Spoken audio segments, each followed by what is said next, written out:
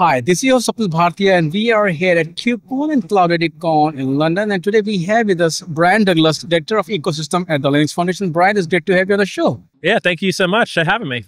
It's my pleasure. Uh, first of all, I would love to know about this position, Director of Ecosystem. My role is Head of Ecosystem at the CNCF, specifically in the Linux Foundation. And I work with end users. So, end users are folks who leverage the cloud uh, for the technology businesses.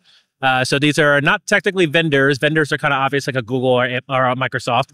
Uh, but these are folks like Intuit or uh, NatWest Bank. Uh, we've also got Bloomberg as well as end users, and we help them to engage in cloud. And the benefit of that is that they have their own way of doing cloud native. Uh, they share in a non-competitive way on how to do it. Which means you also have a very good pulse of how folks are using Kubernetes. First of all, Correct. I'm not even going to ask a question who is using it because almost everybody yeah. linux kernel or you know kubernetes. Uh, talk a bit about um, when you talk to these you know customer and users because everybody's use case is a bit different right? Yeah. So talk a bit about how people are using it and what benefit that they see that's why they're using it. Yeah i mean a lot of times companies start smaller. Um, a lot of earlier companies will have different processes for different engineering teams. Uh, so we have the we have SREs, but then we have platform engineering. So now you can standardize on how you, how you interact with the cloud. Uh, so, for example, Bloomberg uh, recently was on a panel with me talking about how they standardize their practices around platform engineering within an organization. Uh, so it's no longer I build this way, we deploy that way. It's now us as an organization. This is how we interact with the cloud. You just share one, you know, Bloomberg, but yeah. just just talk a bit about, you know, what are the trends patterns you are seeing because yeah. we cannot go every use case. But what pattern you're seeing, what benefit people are seeing, that's why they use Kubernetes. Yeah, yeah, correct. So the, the patterns we're seeing is that they're able to scale, do, do more with less, essentially. I know it's hard to find really talented engineers.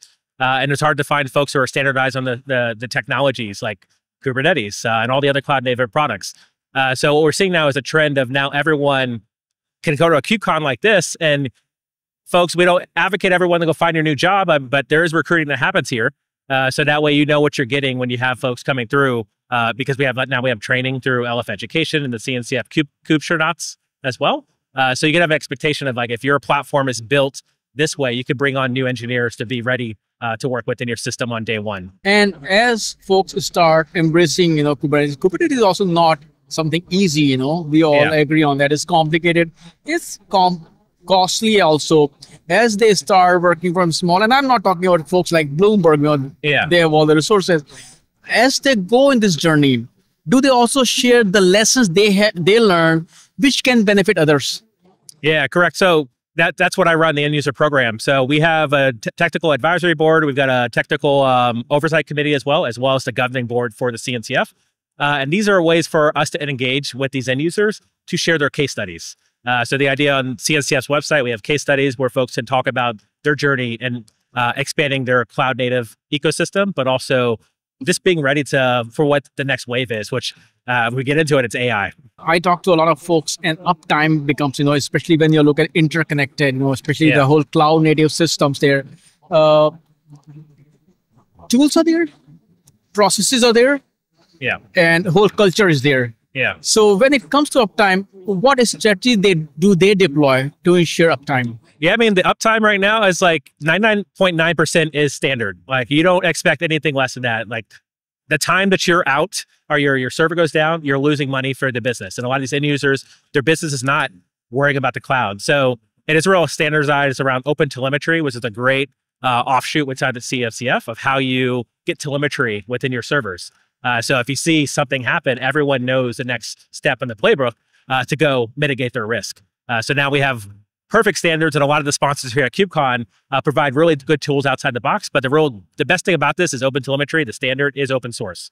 So no matter what vendor you're using or what tool you're using in, in house, uh, that standard is established. Uh, so expectations around downtime is, is clear and cut and dry the the flip side of uptime is downtime, right? Yeah. And downtime, there's so many causes. You know, something goes wrong.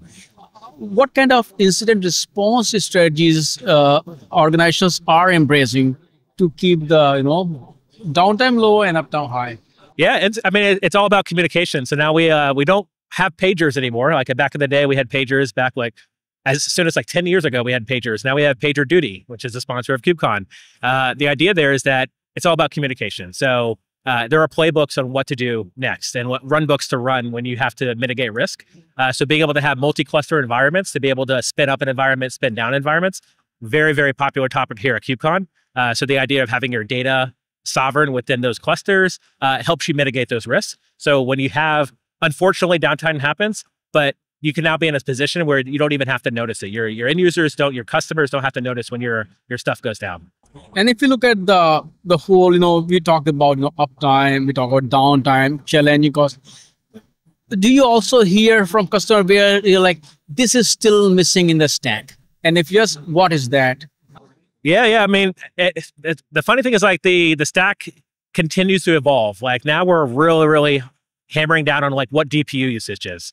And uh, things that are missing is around utilization. I, saw a metric uh, in, a, in a paper around 5% utilization of all accessible GPUs. And I think we're actually specifically we're preparing for the next wave of AI and how we integrate AI and within our, our, our companies. Uh, so we're preemptively hoarding GPUs, uh, but there's an opportunity for us to now mitigate that risk uh, so we can spin up stuff and spin stuff down um, preemptively. Uh, so we're not spinning servers and spending all that money for no reason. So there's a lot of uh, cost controls around uh, GPU usage that is going to be coming out in the, in the next couple months. I, I, I believe. Uh, no one's really hinted on that for me specifically, but I just see that's where the industry is going. And since you have thrown the AI hand in it here, so I do have to yes. ask, you know, what are the emerging tools, frameworks, technologies that, you know, people are either dipping their toes in or they are like mature enough, like Kubernetes, that they are using in production? Yeah, I encourage everyone to check out sandbox projects within the uh, sandbox projects within the CNCF.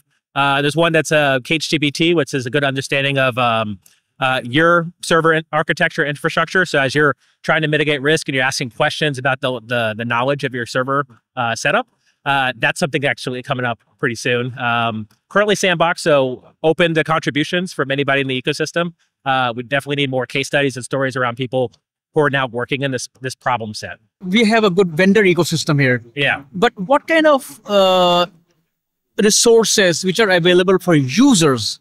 So not only they can share their stories, but they can also learn from others' stories. And what role is CNCF Linux models playing in enabling that? Yeah, yeah. First of all, to say that resources, LF Training, uh, we've got a really good program around leveling yourself with the Kubernetes. Uh, but the other thing I'll mention is we have reference architectures uh, that we got one from Adobe recently. Uh, so folks sharing how they're building uh, their infrastructure uh, and their cloud native environments. Uh, the other thing is case studies. If anybody's got a story around how they build in cloud native, uh, open ears. Like we want to share those stories publicly at the next KubeCon. Uh, so would love folks to find me and, and share those stories. We are here. I've been covering it for, and the pace of innovation as a journalist is too, it's very hard for me to keep up with that. Think about those practitioners who have yeah. to actually use. So how are organizations keeping up with this pace of innovation? Because first of all, they have to keep dipping their toes. They don't yeah. want to be left out. Yeah. But then we don't have technical expertise. So how do they cope up with that? And then how is CNCF Linux Foundation helping with that? Yeah, yeah. So the way we help it is really through one. I mentioned training a couple times, but membership is an, another opportunity. So we have like the um, we have memberships through like silver and uh, and gold tier and platinum. But we also have like a, a bottom tier membership through the um, supporter network. Uh, this is an opportunity for folks to, if you're just getting started, you want to keep up to date, you want to be on our newsletter, our mailing list. Like this is an opportunity for you now to stay in touch. Um, so that way, when it comes opportunity of someone to share their case study or share a story before it's even ready, uh, we have standing meetings with the TOC on a biweekly basis, uh, public and private ones. Uh, public is when anybody can come through and find out what's happening within the ecosystem. Uh, you have to be a member to be part of the private ones, uh, and that's our encouragement to to join and get some extra information on what's happening in the industry. So like we mentioned AI, like that's very fast moving, fast pace. Uh, it's very hard to keep up. Uh, but if you can now chat with another end user in a non-competitive fashion to say, hey, this is what we're thinking about, looking for other reference architecture and use cases on how we can solve these problems internally for us, it's an open forum for folks to collaborate and have those conversations.